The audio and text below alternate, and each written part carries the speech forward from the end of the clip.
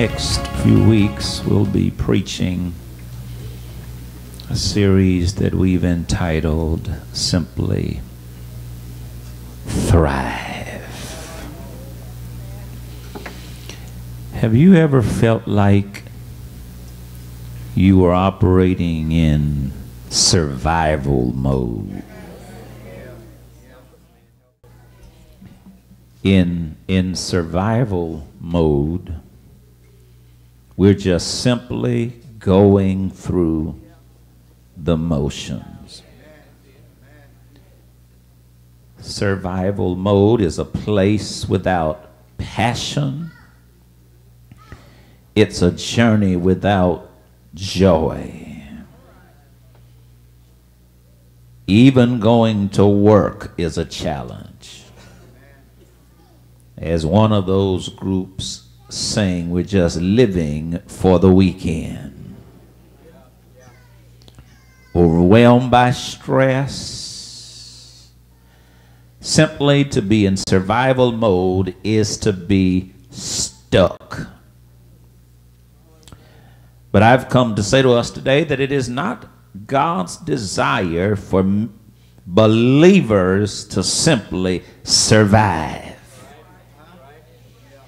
He wants us to thrive. To thrive means, to thrive is to find meaning and joy in everything.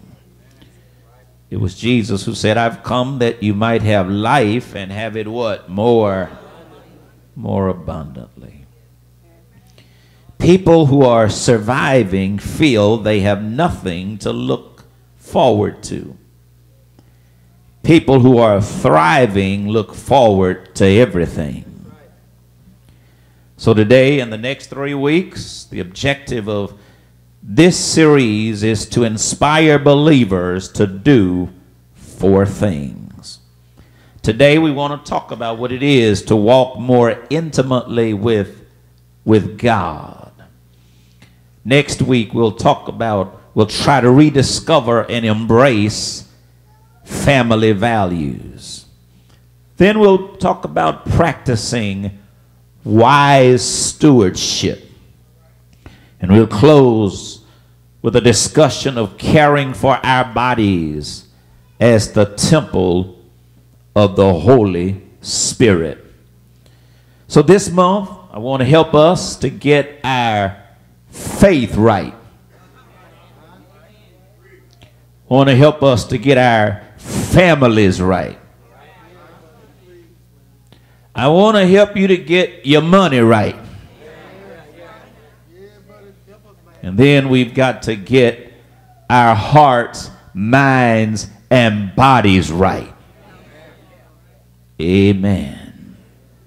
So today we'll talk about faith. And I want to lift Hebrews chapter 12, very familiar passage verses 1 and, and 2 that simply says this Wherefore, seeing that we are compassed about or surrounded with so great a cloud of, of witnesses, let us lay aside, let church say, lay aside. Lay aside, lay aside every weight and the sin that so easily beset us and let us run with patience the race that is set before us, looking unto Jesus.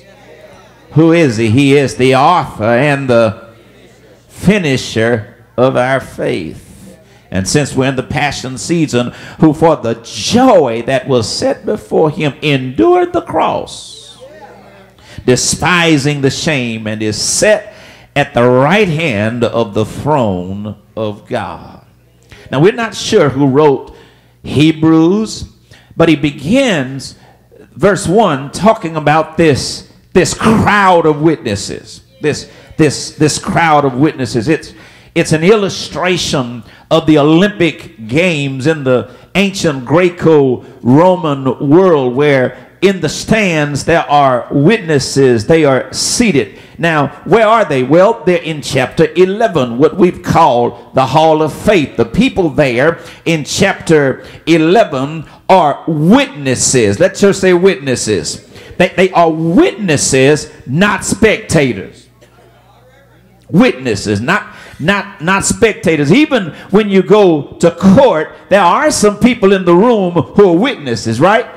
And then, it, it, but they won't. Everybody won't get a chance to testify. That some other folk who are just in there who might be spectators. Well, my dear, see, let me help you understand the difference. A spectator enjoys an event, but a witness has experienced the event.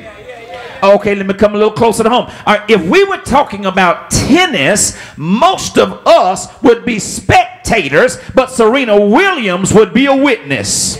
Well, well when it comes to worship,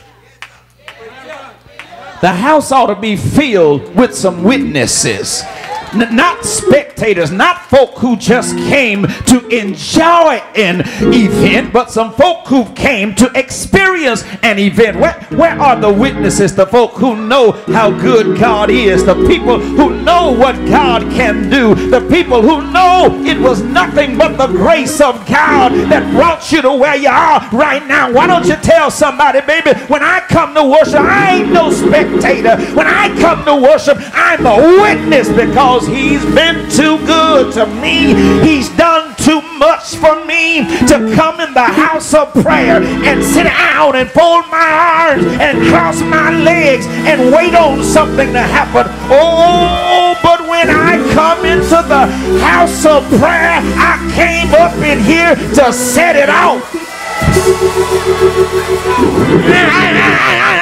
I know it's all right.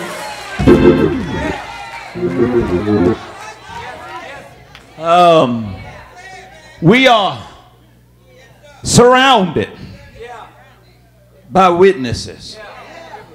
You know, they aren't just in Hebrews chapter 11. There's some witnesses on your road.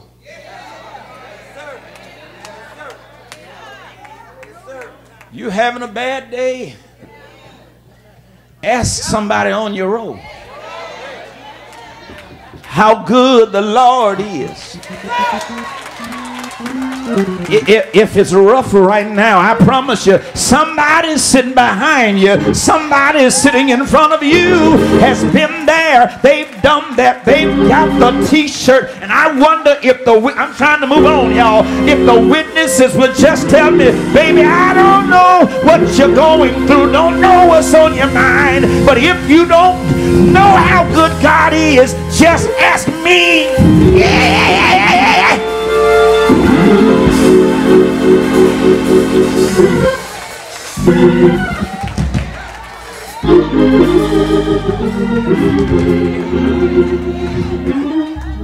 you you can't get into worship sweating a bill. And somebody on your own will tell you he paid all my bill. Oh, okay. There, there are witnesses. Now, now, let me tell you some things, two things about these witnesses. They were faith people. They were what? They were faith people. The phrase, look at Hebrews chapter 11, the phrase by faith is repeated at least 17 times. See, the value of faith is emphasized in chapter 11, verse 6, which says, Without faith, it is impossible to please God. Come here, come here, since I'm trying to help you get your faith right. I want you to understand this intimacy requires trust, and trust requires faith. All right, all right. Now, you can use that in another context, can't you? All right, all right. I'm gonna say it one more time. Will you tweet it for me? I said intimacy requires trust, and trust requires faith. All right, let me help you understand the difference. Trust says, I believe you. Faith says, I believe in you. Come here, come here. Now, I, I wasn't talking about no relationships, but I guess this will fit because it is difficult to believe a person that you can't believe in. Now, how do we get way over there? They were faith people. They were what? Faith. I didn't hear everybody. They were what? Faith. faith people. All right, here's the second point. Here's the second point. I pray I don't get caught up here because I want to finish this sermon, but I got I got a whole bunch of more pages to go. Not only were they faith people, they were fallible people. They were what? Fallible people. Come here. Come here. I want you to leave here today knowing that the people in the Bible were as imperfect as we are. And when I look in Hebrews chapter 11 and see what kind of folk made it,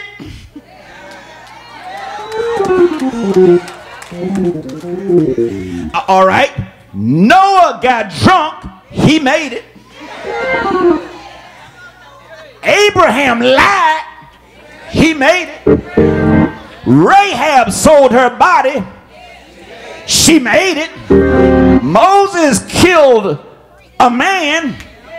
He made it. David committed adultery. He made it. Baby, I don't know why y'all sitting down. You ought to be honest, baby. I'm jacked up, but if they made it, I know I can make it.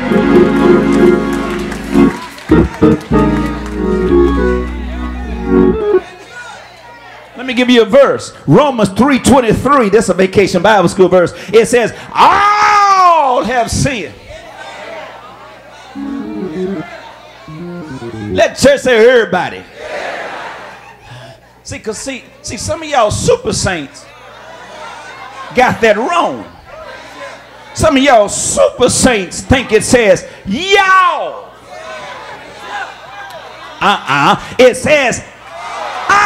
Don't, don't look now. Don't look now. But it's some sinners sitting next to you.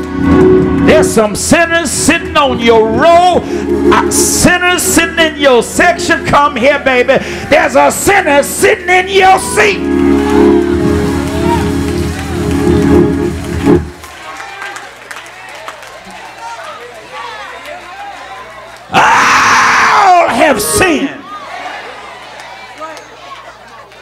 Can the church say, Me too? Tell somebody, baby, we ain't got time to vote the House. We don't have time to call the roll. We don't have time to pass the mic, but just trust me, baby. When I tell you I hadn't sinned today yet, but I know how sin is done. Y'all quit bragging on what you don't do no more. I'm, I'm fixing to start some stuff. Uh huh. See, some of the stuff you don't do no more, you can't do no more. Which is why Jesus says you don't have to do it manually, but if you do it mentally. Uh, all right, because see, I needed to hang out there. I needed to hang out there a minute because people are always quick to minimize their own sin and maximize the sins of other people. Listen, baby, maybe you didn't do what somebody else did, but it's a sin for you to be gossiping about what they did.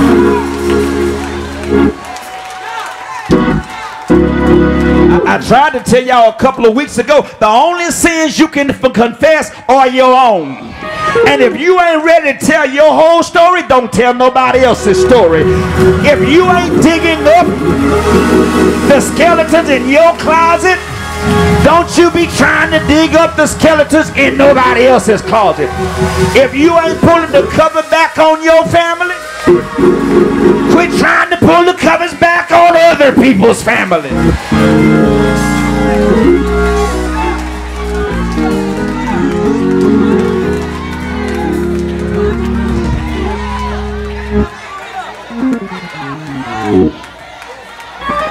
See, see, somebody's quick to call you and tell you where they saw your child, but they won't tell you their child was with your child.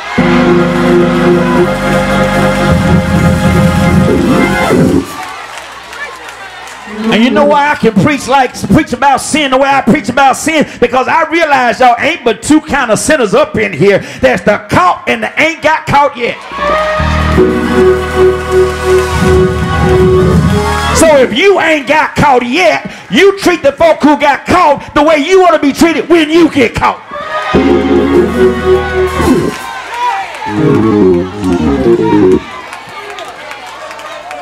Ooh, Pastor, I saw some of our members at the boat. You had to be there to see them. Ooh, Pastor, all the peaceful rest was at the concert. Negro, you were there too. I mean, they weren't streaming.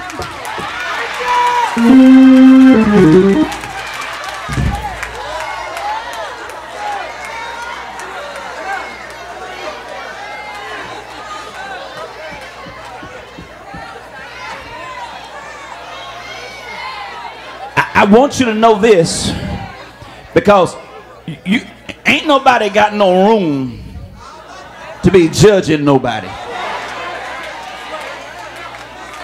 Now, there's enough wrong with you right now to go straight to hell. But for the blood of Jesus, but for the grace of God.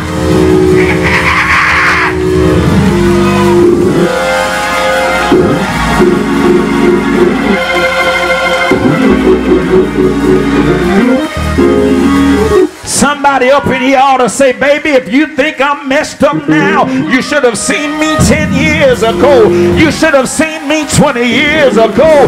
If you think I'm messed up now, you should have met me before I met Jesus. What a wonder. Changing my life has been rough. Since Jesus came into my!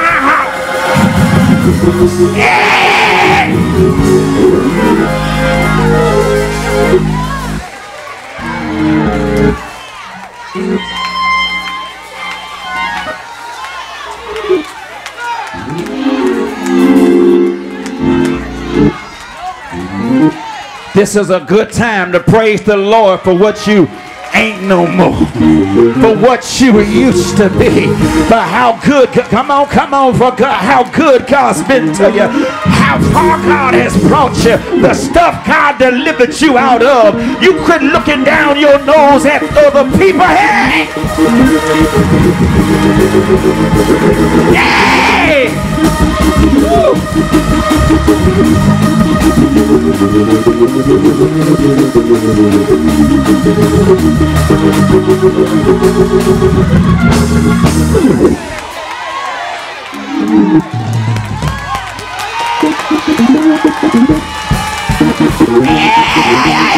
Yes!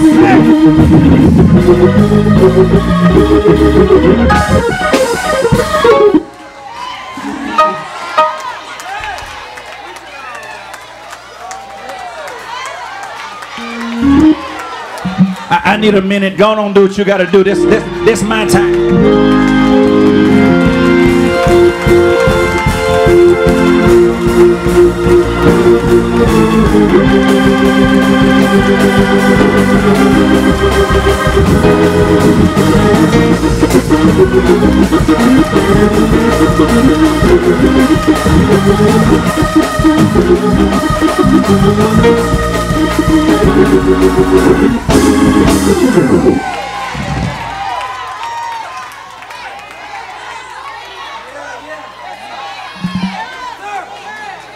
I believe just from the way it feels up in here. I believe it's some sinners saved by grace up in here. I believe it's some folk who've been delivered up in here. I believe it's some folk who've been set free up in here.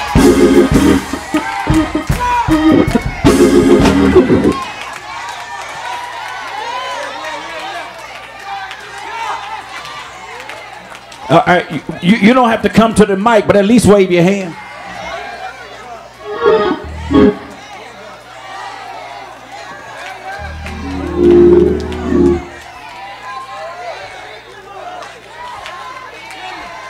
Give me two, give me two or three minutes. I'm gonna let y'all go.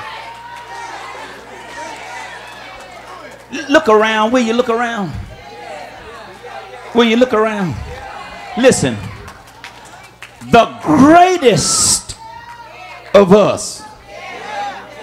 I said, the greatest of us is as fallible as the least of us. That's why we can't judge folk who messed up. Have I got a witness? They may have missed it Monday, but you subject act a fool Thursday.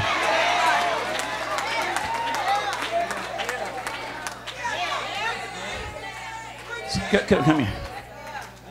Some of these old school brothers might remember Mr. October, Reggie Jackson. Old school brothers, holler at me. And sisters who. Yeah, yeah. See, see, see, see, see, the, see the young folk know LeBron. But there was this fella named Reggie, Reggie Jackson. Watch this. Reggie Jackson hit 563 home runs. How many? 563 home runs. How many? But he struck out 2,597 times. Nobody goes to the Hall of Fame for striking out.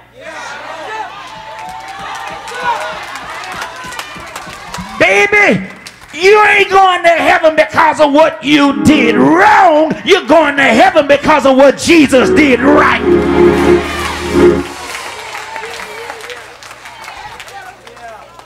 I'm fixing to upset your theology now. Because God and I, we, we, we, we struggle with we struggle with this one. I said, God, they ain't gonna believe me. God says, preach it. I said, really, God? He said, yeah, yeah, preach it. You, you preached a whole lot of crazy stuff they didn't believe no way. I said, God, you really want me to preach that? He said, yes. He said, I, I need them to know this. Watch this. Come here. Come here. God expects us to fall. But he also expects us to get up. You know, when the newborn is trying to learn how to walk, you don't kick them out when they fall. When the baby is trying to walk, you don't put them in jail because they fall. You tell them, get up, try it again. Hey!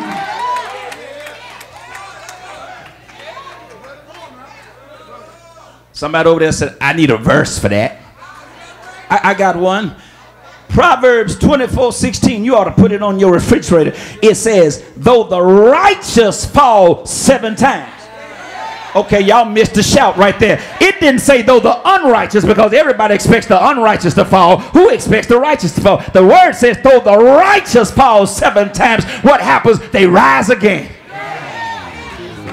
Who sung that song? We fall down. But the difference is we get up and a saint is just a sinner. What? He fell down.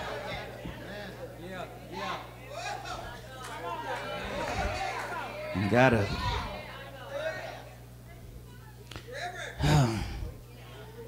There was a film, a, a British film in 1981 entitled chariots of fire. Y'all remember that? One of the athletes featured in that film was Eric Liddell. He's best known uh, for winning the gold medal in, in the 440 in the 1924 Olympics. But Eric Liddell won another rather interesting race in 1923. I'm going somewhere. During a track meet, between Scotland, England, and Ireland. Eric Liddell fell to the ground shortly after the race began. Okay, hold on.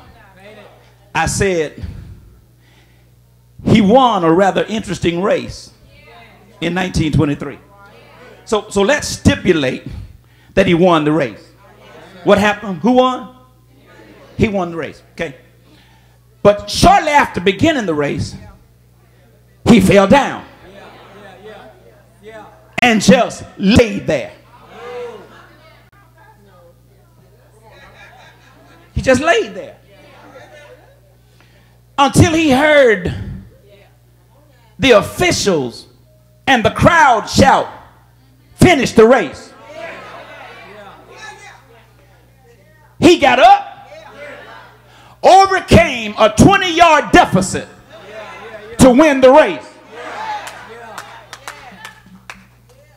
But why, Pastor Jones, did he just stay there when he failed?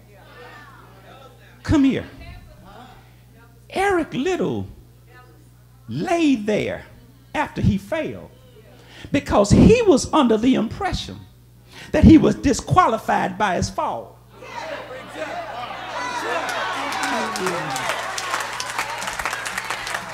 He thought when he failed, it was over. He thought when he failed that he was out of the race. He, ah, he thought that when he failed, it was over for him. But thank God, there were some people who said, Get up finish the race. That's what's happening. In Hebrews 11, Moses says, Get up, finish the race. Noah says, Get up, finish the race. Rahab says, Get up, finish the race.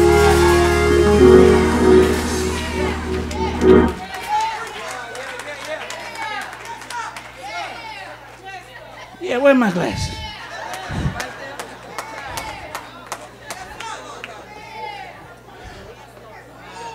I'm done, y'all. I'm have to finish this sermon another day. I'm done. I'm good. I'm good. If you don't hear anything else I say today, I want you to hear this. Though we fall down, thank God for the privilege to get up. Maybe you ought to tell somebody around you, baby. I don't know where you are, but get up. Take advantage of an opportunity to come visit us at the Family of Faith. We love you. Be strong and be encouraged.